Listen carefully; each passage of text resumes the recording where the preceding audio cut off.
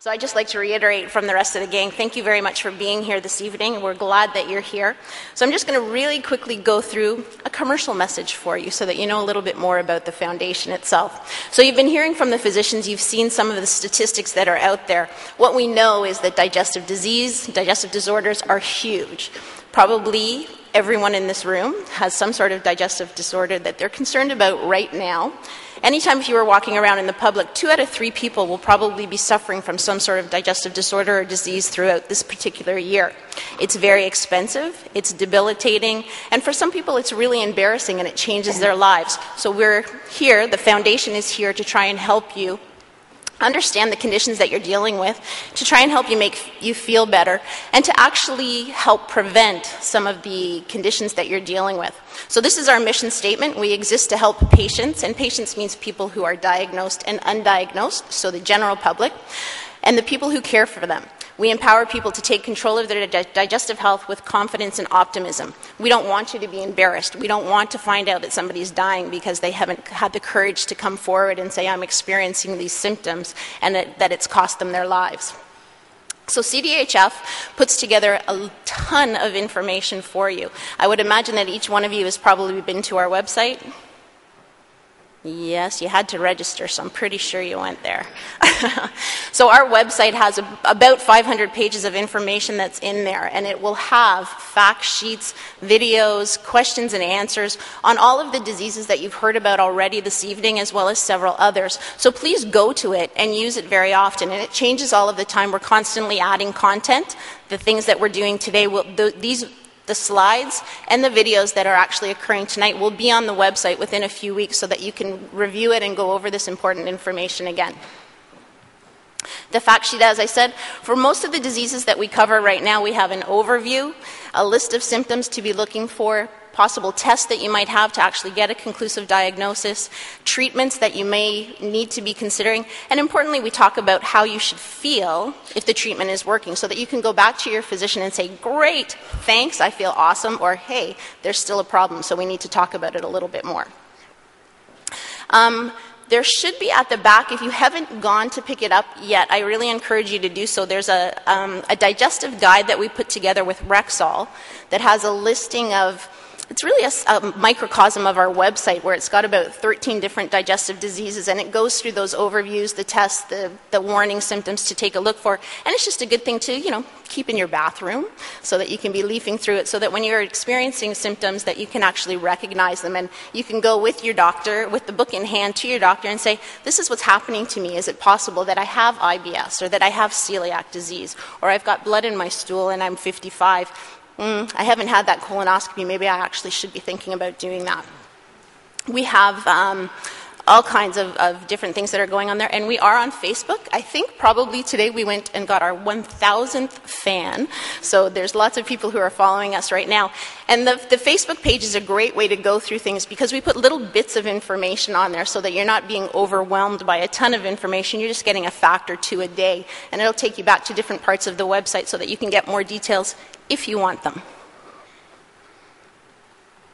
So, this is the end of my commercial and getting up on my soapbox. Um, I happen to be a person who survived a life threatening illness. I had a 10% chance of surviving uh, a long time ago, and it taught me a lot of things. But the biggest thing that it taught me was to be a good patient as individuals who are talking to healthcare professionals, these guys up here are volunteering for us. Most of them have been in clinic or in the hospital or dealing with people since probably about 7 o'clock this morning, and they go through seeing hundreds of people in a week.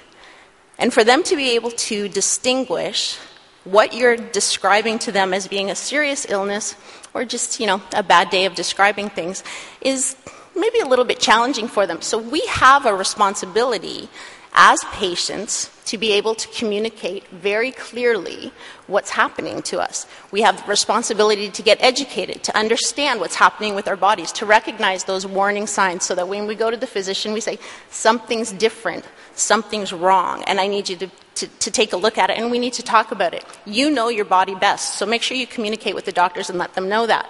And when something's wrong, be your best advocate something is wrong. Please don't send me away and tell me that I'm okay. I know that I'm not. Blood in, my, in the stool is not normal. Having this incredible pain in my stomach is not normal. I've lost a whole bunch of weight and I haven't been trying.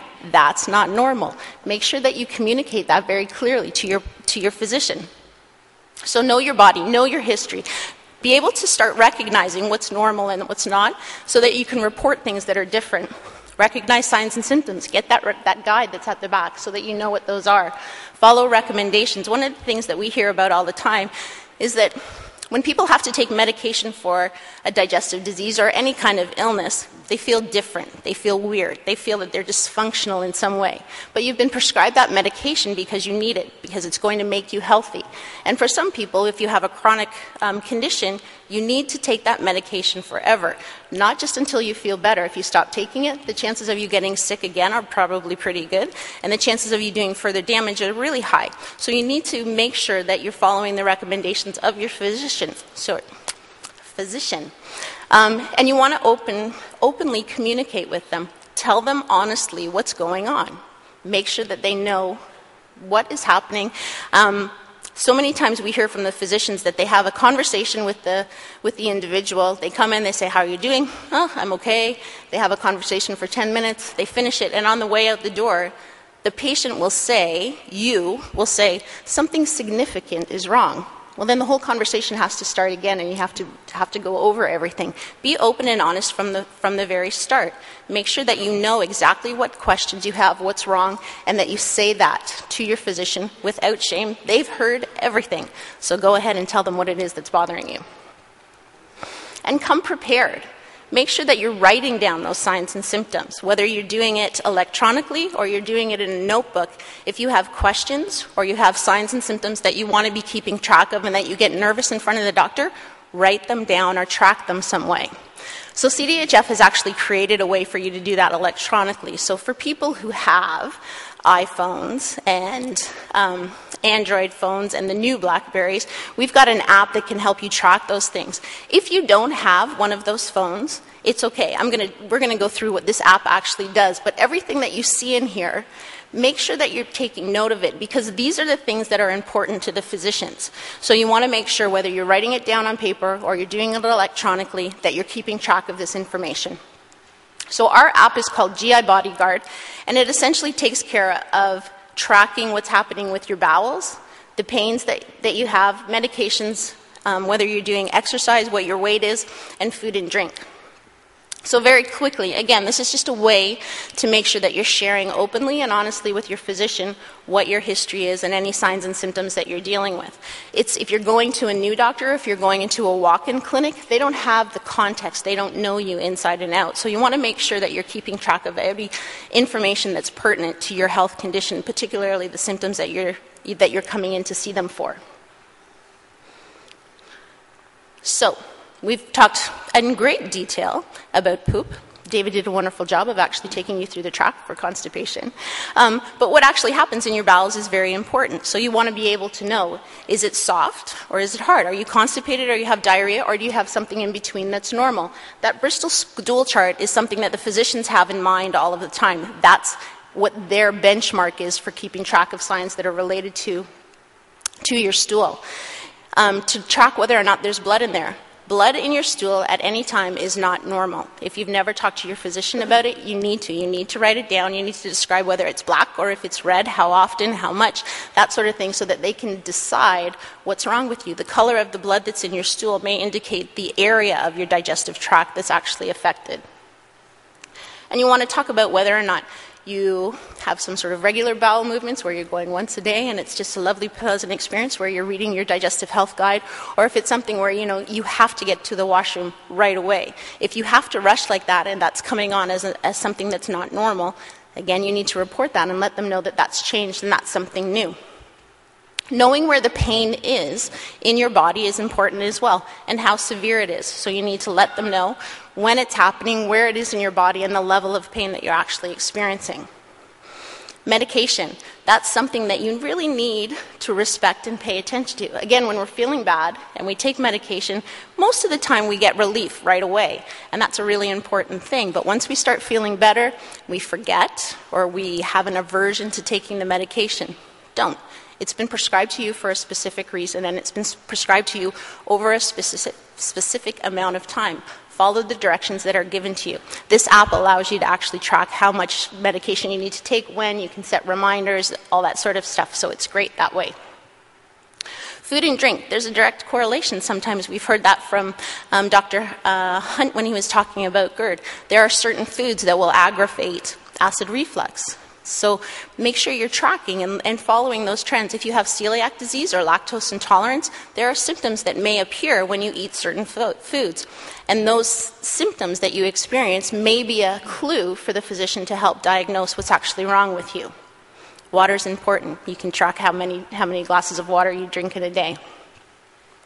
Most people track weight to find out if they're obese. Are they gaining weight? What are they doing with it? But weight on its own can actually be an indication of disease. If you're losing or gaining weight when you're not trying to, that can be an indication that something's wrong. So you want to be able to track that. You want to let them know what's going on. And we know that exercise is good for us, so this is just an easy way to track it.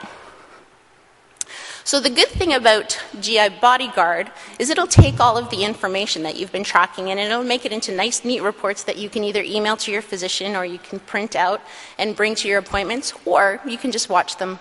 Watch, uh, watch the trends on your own. And again, whether it's electronic or it's through GI Bodyguard, it really doesn't matter. What you need to do is be able to track that information accurately, clearly, and be able to feed that back to your physician so that they know what's happening. So, right now, GI Bodyguard is available for free, just like the seminar tonight, um, for iPhones, and in about five weeks, it'll also be available for Android, so you can download it if you have one of those phones. Anyways, that's the end of the commercial. I just wanted to say thank you very much to the doctors who are up here who took the time to be with you this evening. They've done a, a great job and it's, they volunteered to be here, so thank them.